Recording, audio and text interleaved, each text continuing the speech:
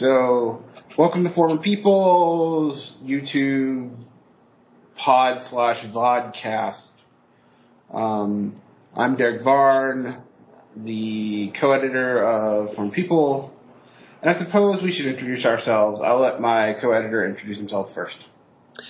Hello, everyone. My name is Steven Michalkow, uh, the other co-editor for Former People. Um, basically, uh, Derek and I started it a few months ago.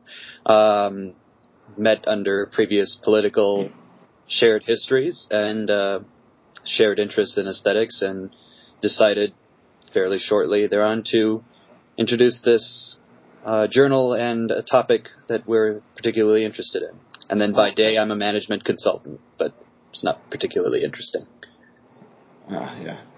I am a teacher and poet and who lives in Mexico and has lived in various places, like South Korea, uh, the, the southern U.S. And I um, edit a lot of things, actually. Um, I'm the managing editor of the North Star, which is a political magazine. I am the sort of co-head blogger of Disloyal Opposition to Modernity, which is a culture blog tied to this project. I have been the the um, managing editor of the Milkwood uh, Milkwood Review. I've been an assistant editor at Arts and Letters, Journal of Contemporary Culture, and I've published um, poetry and interviews all over the place um, and places like Unlikely Stories 2.0, Writing Disorder, uh, Perine Fountain, and uh, um, etc. Mm-hmm. So that's who we are. Mm-hmm. Um, as boring as that might sound, mm-hmm. reading CVs is always painful. You ever notice that?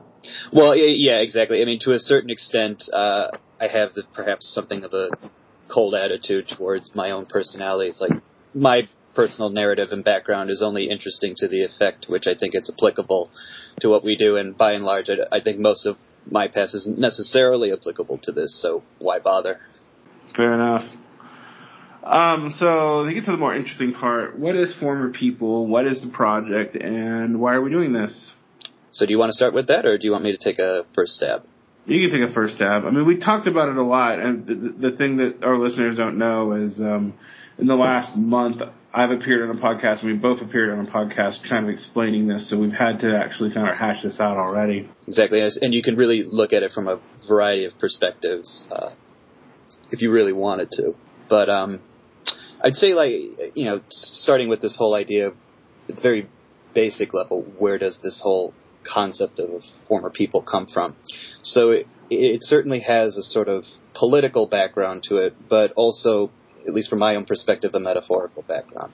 And the political historical background, um, depending on how familiar you are with the period of the Russian Revolution, the Civil War, and its aftermath, the former people is the, for lack of a better term, code word used to describe uh, not only the aristocracy, but the remaining aristocracy of the Russian Empire after uh, World War One, after the the Red Civil War, um, and their children basically this whole idea that this component of the former uh, Russian Empire now sort of lingering on inside and arguably outside the Soviet Union would no longer have a place in the dialogue. They would no longer really be a part of this new epoch of the Soviet world. Uh, admittedly, you know, this idea that um, the period of history has changed and it's changed away from what the aristocracy represented and was.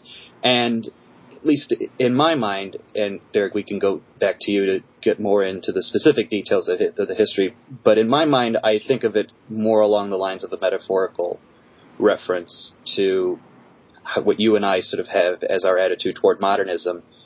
I think, at least from my perspective, for a very long time, particularly the advent of postmodernism and whatever you might want to call the certain context we live in now, uh, at least from aesthetically speaking, um, modernism sort of represented something like that. There were a sort of represents an old epoch that had its time.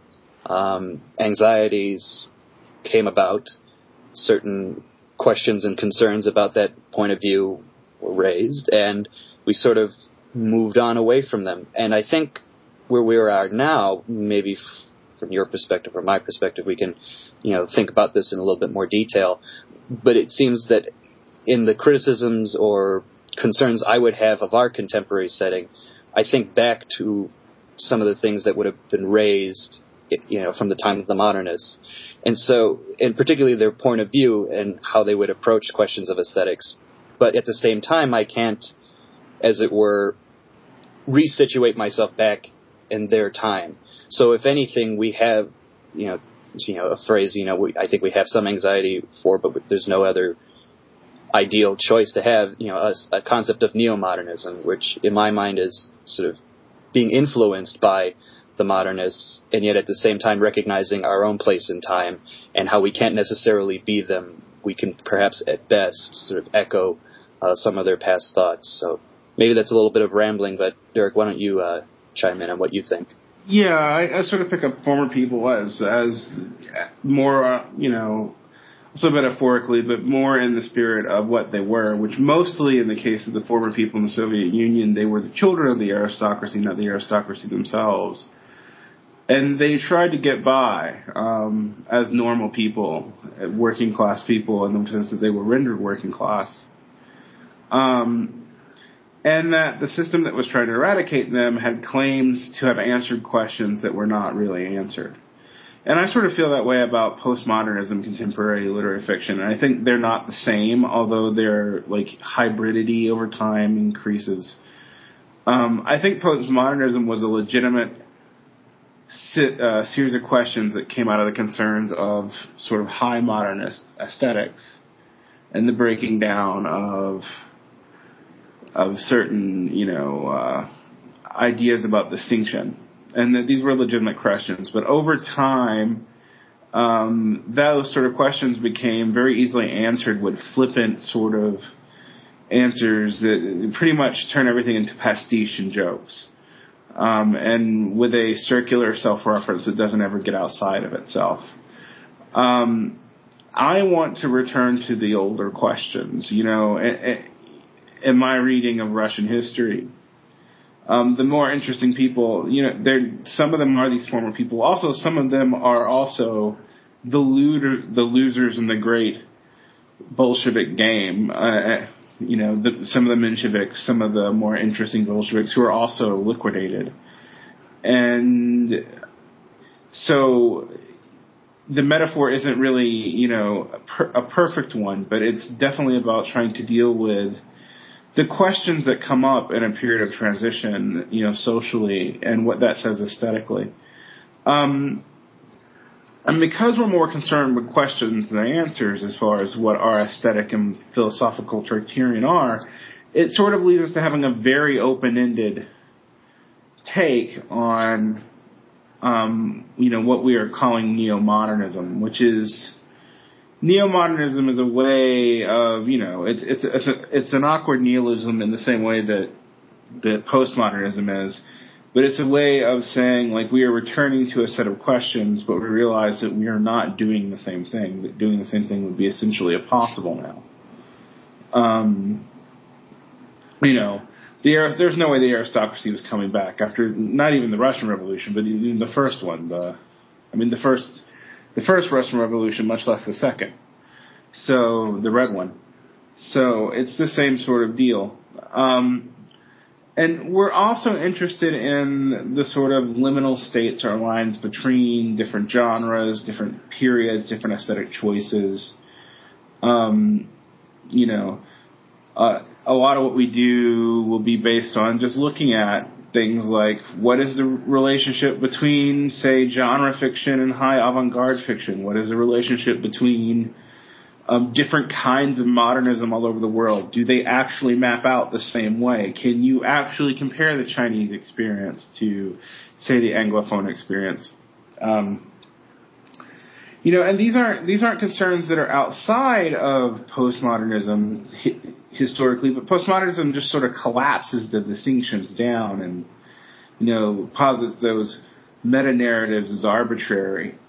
And we're sort of saying no, they're not arbitrary. They're just different, and you kind of have to look at them in different ways. I mean, you know, we can go into our influences in a second, but but I think those are essentially, you know, interesting concerns. And I, I think that may be a difference between you and I, Steven, is that we actually do have different answers to how we break down aesthetic differences and what's going on in the world of literature right now. And I think, you know, not to call you out or anything, but you are more in a pre 1980 world. So.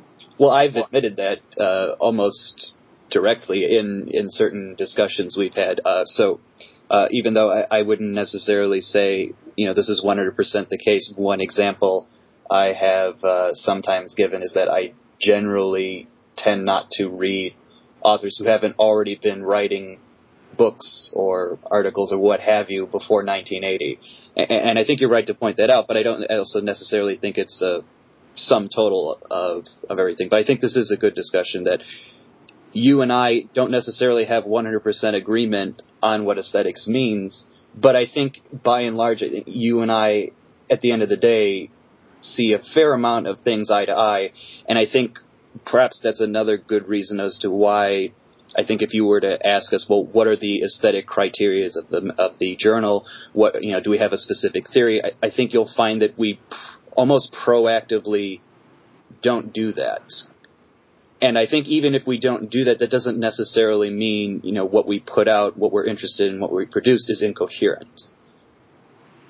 No, we're not. We're not saying that. I mean, the one thing we definitely aren't interested in, in is a pastiche of modernism we don't. We're not interested in recreating to it. We're not even really interested in truly returning to it, and you know, in the way of like trying to re- bring about modernist literary movements. That would be foolish.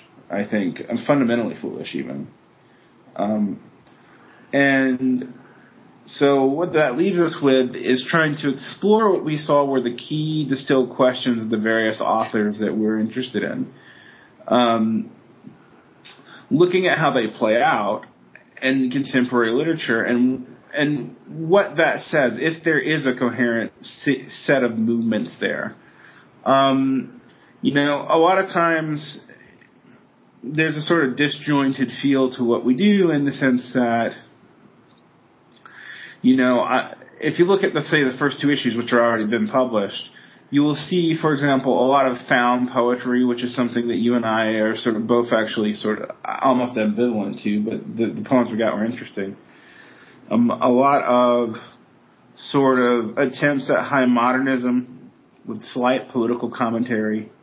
And then what a lot of people would read as sort of experimental genre fiction, such as Joe Pulver's work, which we published, as well as Douglas Lain's w- work um, both of which flirt with various genres. Pulver with weird fiction and horror fiction, and Lane with science fiction and um, sort of bizarro fantasy. But neither entirely encapsulates that because they also use literary elements that would be considered explicitly modernist. Um, references to to music, um, stream of consciousness, breakdowns, um, metafictive techniques, etc., that you don't normally associate with most genre fiction. Although I'm increasingly finding if you read good genre fiction, it's there already. It's just not often discussed about outside of those circles. Um, but but we're also interested in more straight ahead traditional, you know, literary fiction that you know does not automatically jump to what we can see as the kind of, you know, aesthetic judgment that you see in the New Yorker, which is sort of like wry, almost postmodern realism with the attitude of postmodernism, but the style of Hemingway or of Amy Hempel or of Lorrie Moore. Um, and, you know, I love all of the three of those authors, but people do, that are highly derivative of that there's just a certain blandness of tone that comes from the fact that the questions they answer, well, they're really not questions. They're not positing questions. They're more interested in concern, you know, constructing really clear sentences sometimes, um, and being sort of self-referential. which is painful. I mean, it's painful to read, I think, and it's um, and it reflects a certain cultural myopia, um, yeah. which I would almost say is particular to the United States. But you know, it's interesting. I'm, I'm actually very glad you brought up this whole question of like where you know our interests somehow being in these sort of borderland authors and texts, and you know like we enjoy you know objects that come from genre fiction as much as we might enjoy something which would have came from the realm of I, I guess you might call pure high literature, academic literature, whatever you want to ultimately label it. And I think what's an interesting phenomenon, which at least from my perspective seems to be happening now, is that I think what you and I may be most concerned about is um, I think you know I've heard it uh, described I think you know what's the difference between you know if you limit yourself just to genre fiction. So like what's the difference between genre fiction that I would argue is good, or perhaps you know maybe more less aggressively say that you and I like versus just your run of the mill genre text. And I think you know there has to be something to do with how you fetishize the genre itself. Are you interested in mostly fulfilling what the genre, you know, sort of demands of it? So if you write you know, let's say a hard-boiled detective story, you know, you you know, and you're interested in just paying off on what the genre demands, you know you're going to do, you know, three or four different types of things. You're going to have a Philip Marlowe style detective. You're going to have, uh, you know, a sort of femme fatale type uh, woman, you know, X, Y, and Z. And I think what's interesting now is that even the quote unquote literary fiction is in its own way a type of genre fiction in which the literature itself seems more focused on hitting like the four or five things you have to do in order to make yourself literary fiction, and none of which seems to be like you know, cheat, you know to the point you raise, like add, you know raising interesting questions or even.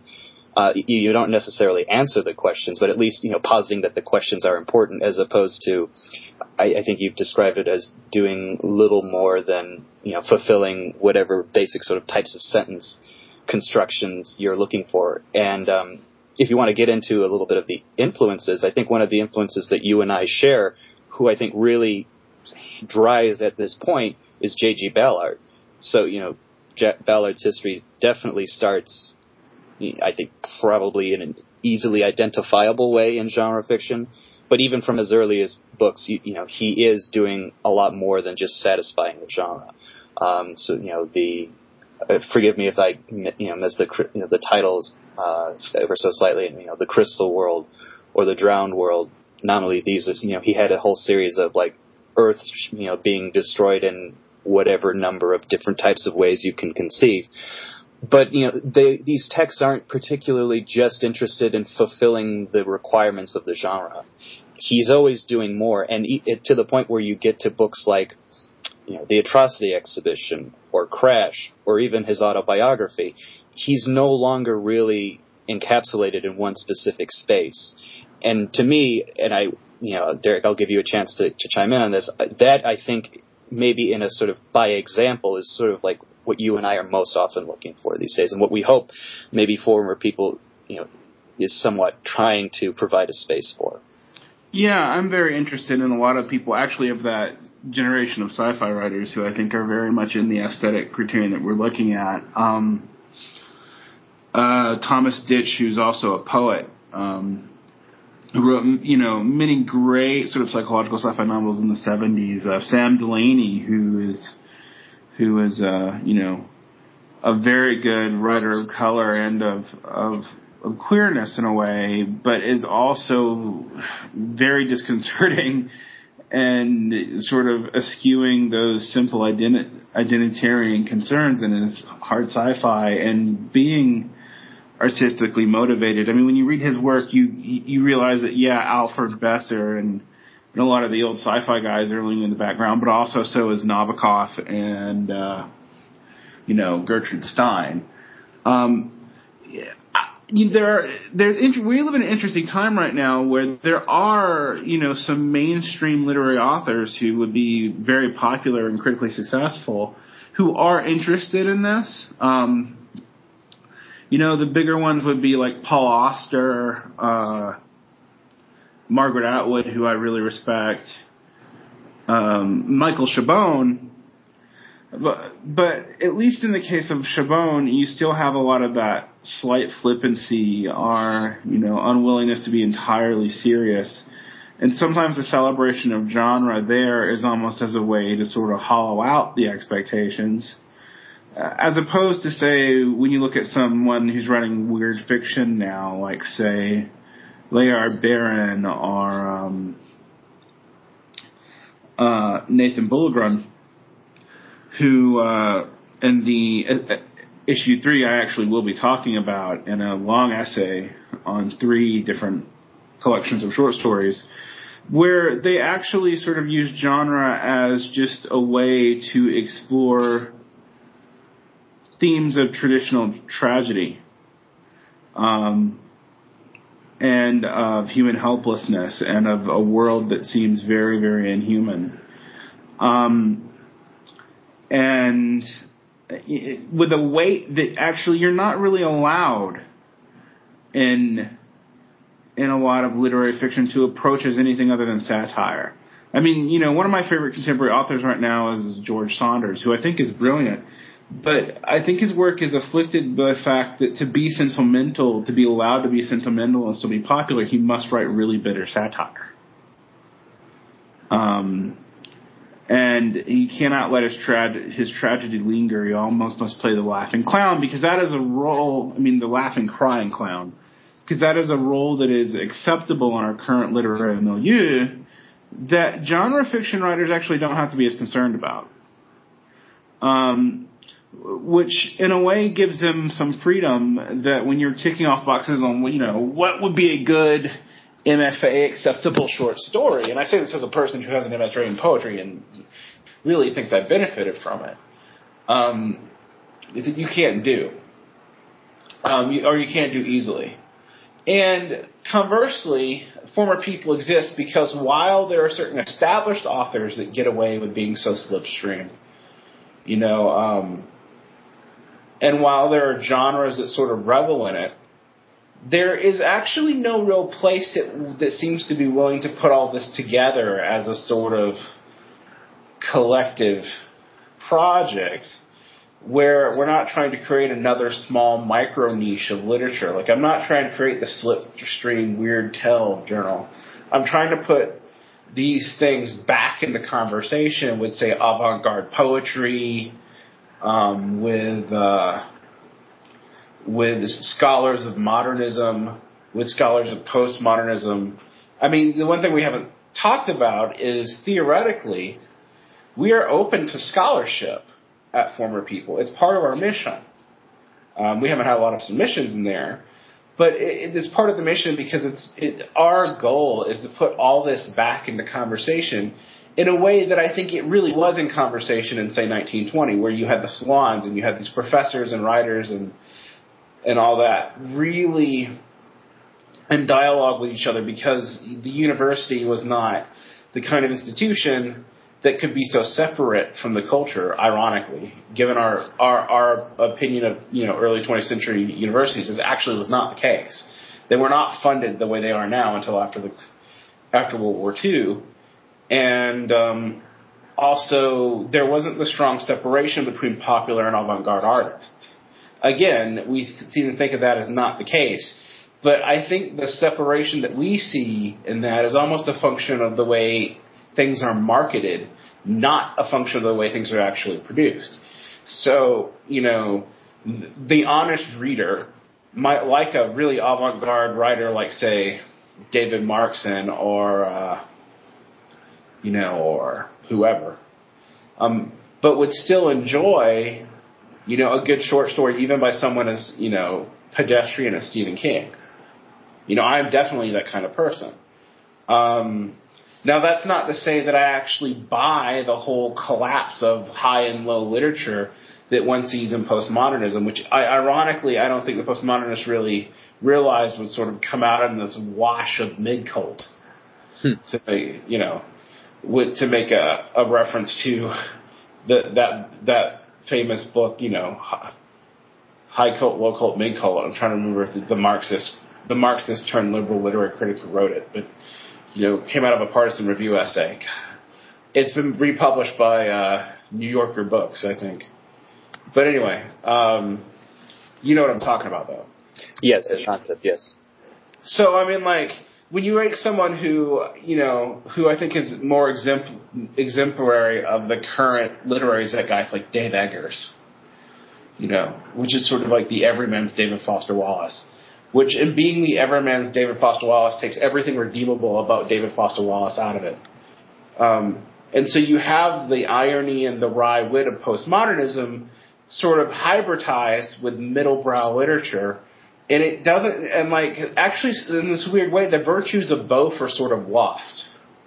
Like when i talk about the flippancy of postmodernism i'm actually not referring to to authors or poets like say uh, the late beats the language poets or uh, even someone like uh, william gaddis you know um, our, even David Foster Wallace, who we've talked a lot about on other on another podcast, so I'm not going to do that much on our own. Um, whereas uh, if you look at someone like uh, Eggers, it just doesn't seem to go anywhere. It's too self-referential and too concerned with identity in this really sort of problematic way. And I think you also see that in Jonathan Franzen um, and a lot of these authors that have pretenses to being like high literary authors. You know, they'll get pissed off if you give them the Oprah Book Award, for example, to bring that decades old controversy up. Um, but they're not really writing anything that's actually particularly all that innovative. Interestingly enough, have you read Freedom? Yes, and I beat my head against the wall with it. What do you think of Freedom? So it's I actually the thing I found most annoying with it, and probably the the piece of the text that I found the most difficult reading and thus you know, almost forced me to give up on the whole book was that big section where uh, Jonathan Franzen is trying to write as uh, basically a middle class white suburban woman, uh, you know, who through her I think uh, psychoanalytical process is trying to write a sort of autobiographical narrative, and you know this woman, you know, according to Franzen, is supposed to be not very intellectual, you know, so more of like a sporty, you know, type woman, you know, in writing. And I don't ever get the sense that that is the type of person I'm reading. All I ever get the sense is that Jonathan Franzen is writing as if he might be a woman, but it's Jonathan Franzen. And again, it, this is something that I think you and I have touched on before, definitely with uh, in uh, David Foster Wallace, but a lot more sympathetically. It's like there is this strange tendency to, you know, again, not just get tied up in identity politics, but to get tied up in the self in such a way that you're just so never going to escape it. And to my mind, like Franzen never gets out of himself, and frankly, his self is not that interesting. Right. I think um, you know you see it in the corrections too. Um, and I think genre fiction and you know, we seem to be harping on that, and maybe that's good because our, our third issue was sort of actually an homage for a particular genre. Um, is does give you a way to distance yourself, you know, and we've talked about this in other in other forums too. That one of the things that we respect about the early modernists, particularly Pound, Eliot, Wallace Stevens, and even William Carlos Williams in a weird way, is how is how much of their personality is actually bracketed out of their work. Um, like systematic. I mean, there's still a lingering trace, of course, but it's systematically bracketed out. Um, you know, you can't assume that any of the narrators in a Eliot poem uh, or even a William Carlos William poem actually represent themselves exactly. Mm-hmm. And um, that's the almost the opposite of the trend in literature right now. Um, and what's funny is you're not even really allowed a clean, uncomplicated identity politics either, like, because that would be too serious in a way. You know, it's interesting. Um, in the famous uh, essay, I'm fairly convinced it was probably a lecture at one point that Nabokov gives on you know good readers and good writers. You know, he gives his students an exercise like you know identifying what does it take to be you know to for a book to be good or for you to be a good reader, what have you. And invariably, like one of the things that the students really came to was uh, this idea of like, I need a character I can identify with. And in a way, you know, it's funny. I mean, uh, Nabokov clearly mocks that in a variety of ways, not the very least of which in his own fiction.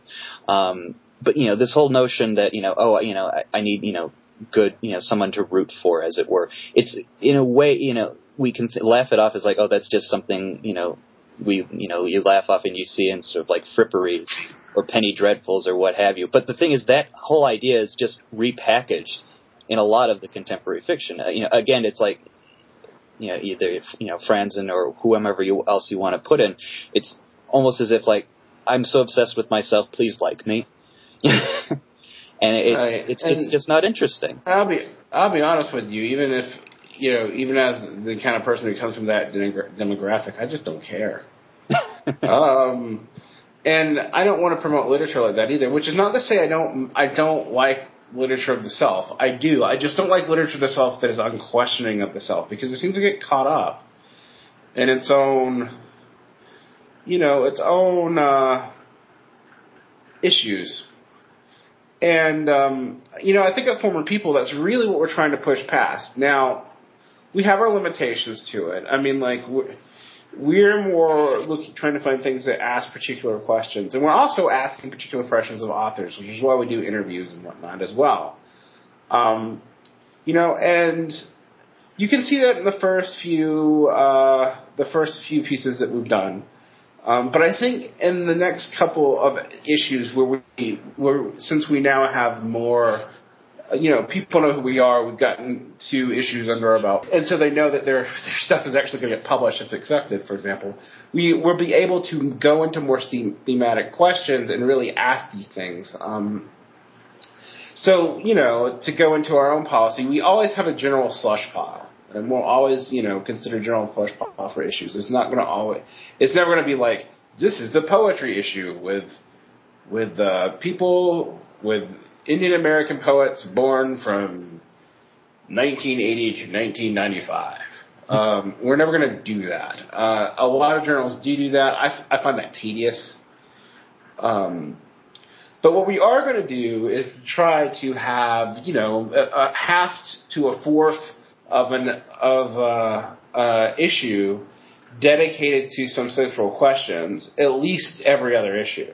So this month we have the weird as the new modern, the weird tale as the new modern. Um, I foresee us also doing something on eventually on 70s science fiction as a success of the modernism. Um, and so like those issues are going to be very, very real. Um, and we're going to really try to push that out, you know, as an answer to a lot of these things that we see as sort of bothering trends in literary publication. Um, and we're also doing that. The other reason why we do that with the general slush pile is that we're also trying to put, like I said earlier, we're trying to put these things in dialogue with one another.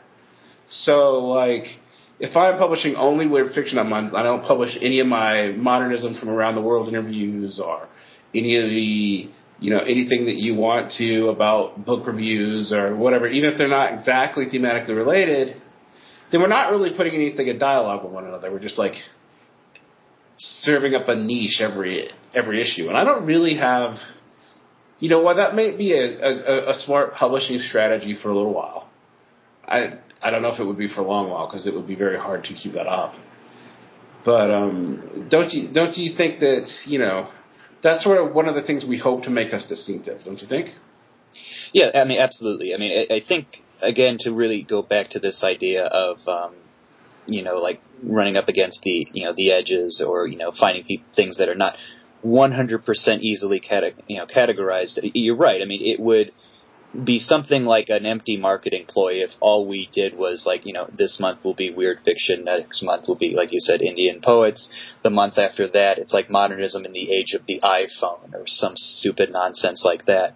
It, gets boring after a while, and it oh, it misses our fundamental point again, which is like, you know, there is going to be you know, a, a sense and an attempt to situate these things in a broader context. So uh, even in our, you know, section on, you know, like weird as the, you know, weird as the new modern, even in my, you know, you know, interview we're going to have with S.T. Joshi, I think a lot of the questions, although focusing on you know, weird fiction, is really attempting, you know, to broach it from the perspective of, okay, where does weird fiction fit within this, you know, broader, you know, setting of modernism? Where you know, what are the anxieties that sort of spawned it, you know, weird fiction, and what do those anxieties relate to in terms of modernism, but also even in contemporary weird fiction. Again, it's trying to, you know, we're going to ask the same questions. Where does weird fiction? What are the anxieties of contemporary weird fiction? What that What does that mean for anxieties we would generally have expressed for, let's say, postmodernism, which we have been talking about uh, in this in this podcast? And, and again, it just seems to me, and I think Derick, you would agree that like if we just are going to fetishize genre, we're just falling back into the uh, the subject of our own critique. Yes, uh, I, I think that's very much the point. So let's move on about a few talk about a few other things that we're doing. Um, you know, right now we're going to have an ongoing interview series on world modernism. I don't know how long, how many issues we're going to do, but we started it off with a with an interview on Chilean and Latin American modernist poetry. And in the coming month, we're going to have an interview with Locus Klein, who's a scholar on Chinese literature on modernism in, in modern China.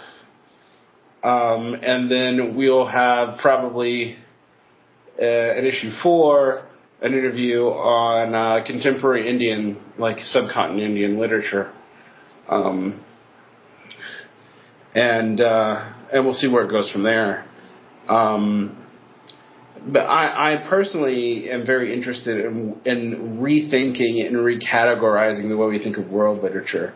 Not, you know, not in terms of of you know, there's a lot of you know debate about unitary modernism versus mini modernisms and and all that. Um, I'm not as interested in those questions. Um, I tend to view things as parallel but not exactly the same.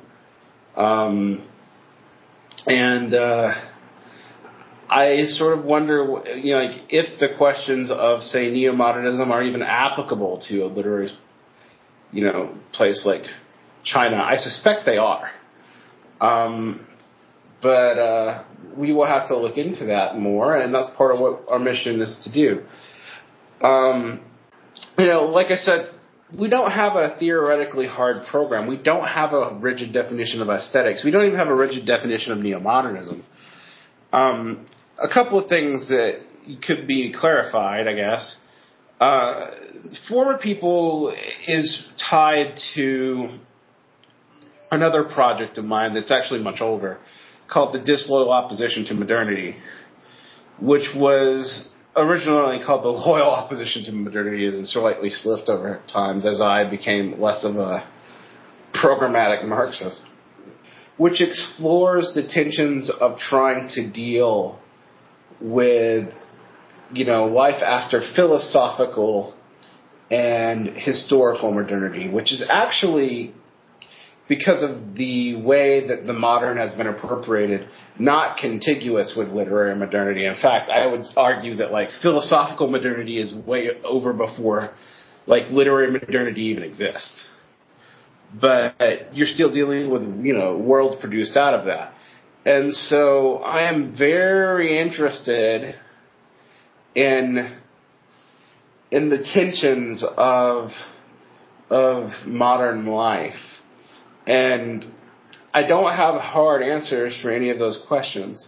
Um, I don't have it philosophically and culturally, which is what Disloyal blog is about, our sister site.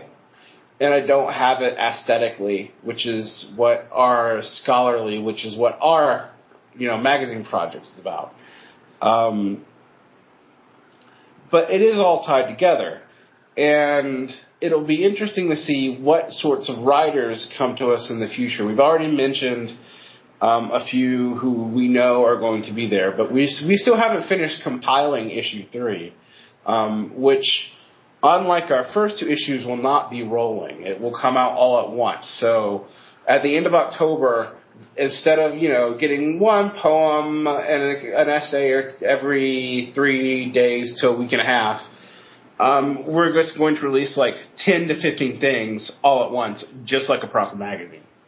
Exactly, exactly. And I think that also is just going to help us again, it'll help us with a number of things, uh, you know, uh, sort of logistically. But I think more importantly, again, like the whole idea of what you and I have been thinking about recently, which is, you know, trying to, you know, to the extent we think it's appropriate and possible, have these ideas of, um, question, you know, sort of like thematic questions that'll hit uh, more than just one particular piece in the issue. And I think, you know, this will just help us uh, better uh, be able to drive that down. And, um, and yeah, and obviously, as you've gathered, like this, you know, this coming issue uh, will be on uh, weird as the new modern.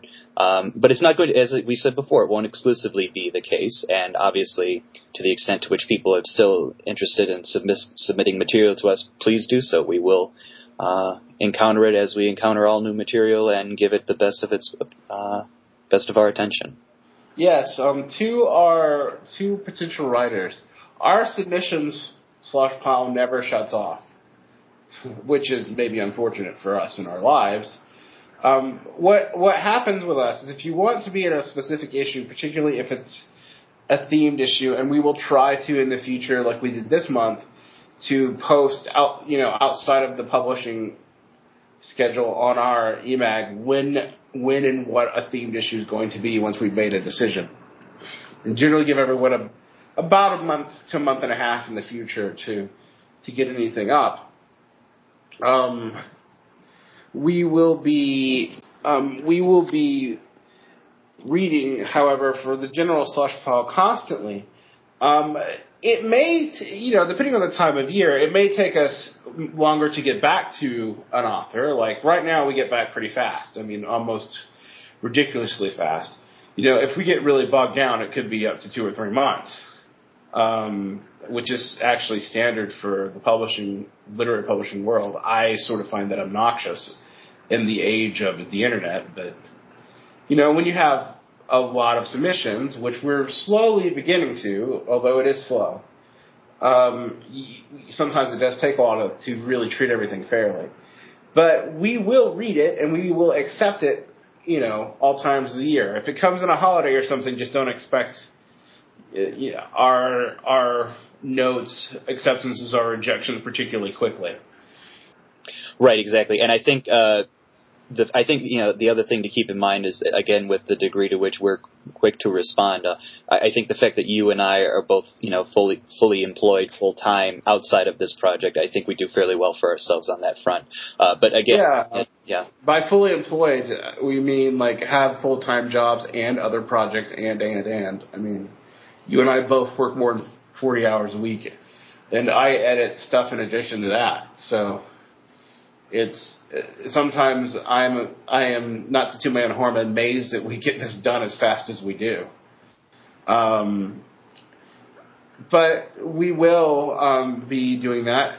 Uh, how many issues are we aiming for a year, Steven? Um, I think at this current uh, rate of production, I think at least for the first year, I think we're going to try for 11 or 12, uh, just based on how our first two issues went. I think uh, a two month period got collapsed into one. But I think uh, let's start. I, we're thinking about starting with a rate of approximately one a month. We'll see how that goes. Maybe you know we adjust. I would say one a month with exceptions for maybe holiday seasons. Yeah, that's good. Um, so, so for example, um, we might do like a bigger issue for the summer, but not do a not do two releases. Um, so, you know, and we will accept probably. I mean, the one thing good about being an e-magazine is we can we can pretty much accept as much as we want.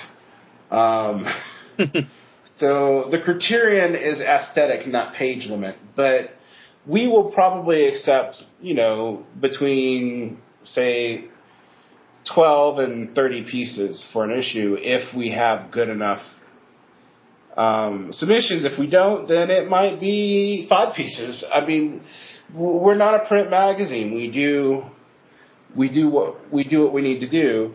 Um, and we can discuss a few plans for our future. In the long run, knock on wood, um, former people will become a small print on demand press as well, doing a yearly anthology of our uh, of all the original work unique to former people. We'll pick the best of it you know, do a brief uh, print on demand slash ebook anthology. Um, and uh, and maybe even a chapbook press for for short stories, novellas, and poetry. But yeah, um, that's in you know we're looking at years in the future for that. You know, I'm only stating this in public now so that we can actually start like slowly holding ourselves accountable for it. Mm-hmm. Exactly. We we are finding mechanisms which we can use to keep ourselves honest. Yeah. Um, you know, and the other thing is we're going to do if we're going to do that. I'll be honest with you, we're not poor people, but we're we're artists in our part time. So, you know, presses like this would have to be operated on a we have the money slash it is affordable for us to do basis. yes. Um, although I have to admit, new technologies, while it may make it harder to get work out, does make it cheaper to get work out. So this is a real possibility. Twenty years ago, you and I would have to have uh, a real studio to be doing this right now, a real press to be doing our magazine, and unbelievable amounts of overhead to even talk about anthologies of a magazine. Um, so you know, that's one of the good things about the otherwise problematic publishing technologies of our time. Mm-hmm. Admittedly, and obviously, we could go into this at a later issue since it could be a long conversation. Everything is a sort of double-edged sword in a way. It's like with the ease of publication comes, you know, the you know the greater the volume, and then the greater of things one has to wade through. We'll we'll obviously most likely talk about that at some point in the near future. Well, yeah, I mean, we talk a lot about shop anyway, but th- that is a real concern for any print, and I think that is why one sees more literary journals existing now because there's almost no overhead to do it, other than your own time, which can be extensive. I will say that. Hmm. But why you see them fold so much too is it's very hard um, to exist except in a niche form. So I guess the last thing we would like to talk about to readers is maybe the the risk that we're taking, which luckily for us is not financial. exactly. But but the risk is that you know that we're developing something that that may not have a huge amount of readers. Now it doesn't need a huge amount of readers. Um, you and I aren't doing this to be like famous independent publishers. Um, if we were, we were going about this the exact wrong way. Um, but we will need the support. And we're not even talking, you know, fiscal support. We're not talking about money. We'll need people to really push our mission and what we do to get it out to the right readers and writers. You know, we exist for the readers and writers and for the ideas. We don't exist, you know, for any other reason. But we need those readers and writers to help push these ideas out there. Otherwise, you know, we have readers, we have a fair amount actually, more than say the average zine does. Back in the 90s when this is how you would have started such a project. But we, you know, we'll need a lot more help to get a lot more out there because it's not you know, a lot of what we're doing doesn't fit into an easy genre. It's not easy to market. Right. I, I think one way I, I, would phrase it, and I think you, you've sort of you've already alluded to it. Um, again, is this idea that again, to the extent if we're not focused on money and fame, what are we focused on? Well, and and you rightly say it's the ideas, but it, you know, at a certain level, like Derick and I can just as easily talk to each other about this on our own. Um, we can find, you know, examples of certain types of fiction that we will, you know, that we would enjoy and on that level and discuss it.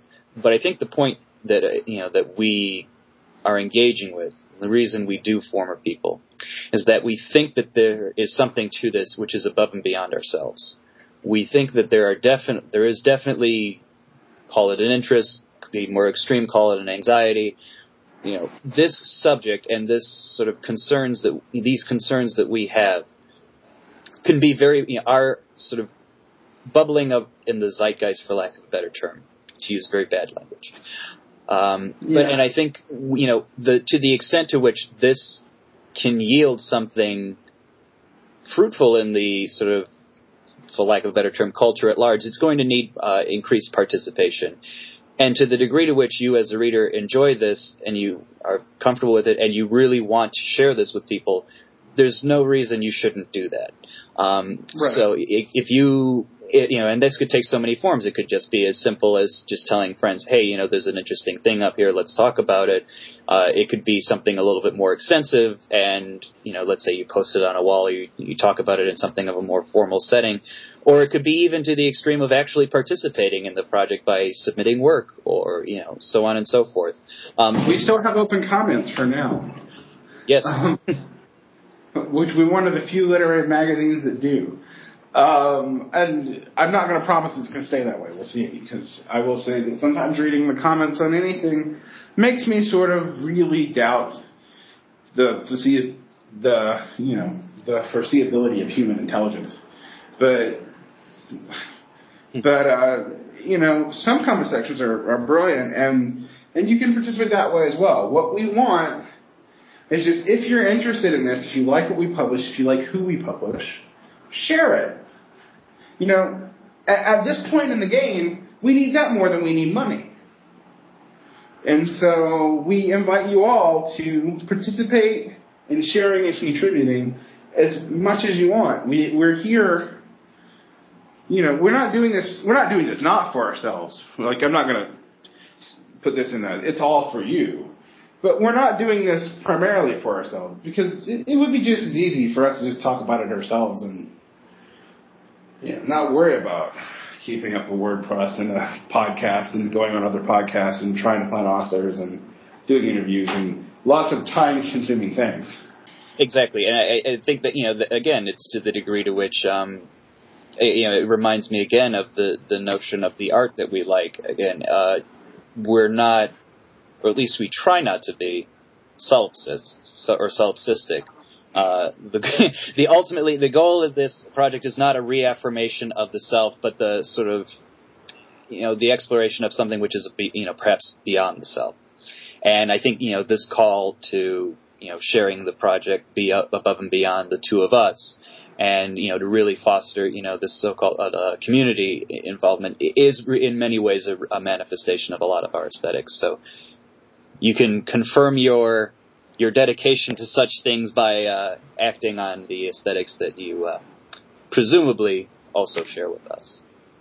Right. And with that note, we'd like to just conclude about what this podcast is for. So this month was sort of an introduction to us and our project. A little bit of sniping at some very popular authors, but in general, more focusing on what magazine is going to do. In future months, we're going to be commenting on essays and pieces within the magazine itself as well as trying to put them in dialogue with things outside of the magazine, whatever the current literary trends are, as best as we know them. Um, now, you know, if you don't know me, I'm already on a podcast about politics, and I'm also very busy. Um, I teach, I write for several blogs, I edit for several blogs. I actually don't know when I sleep, but we, we think that this will be important and um, that, that it'll be something to do. I sort of got this idea actually from the Poetry Magazine podcast that does the same thing where the editors discuss what they put in and you really get insight into what the editors are trying to do. Um, and we hope that too will help our readers. And we hope they enjoy it and, and learn from it and that we can learn from you in your interaction with us here. And I think we'd like to end on that note. So, with that in mind, uh, everyone, thank you very much for listening to this first um, vidcast or audio cast or YouTube cast or whatever we ultimately decide on naming this particular uh, object on our magazine. And thank you very much for your attention and hope you hope to see you in our pages and around our pages.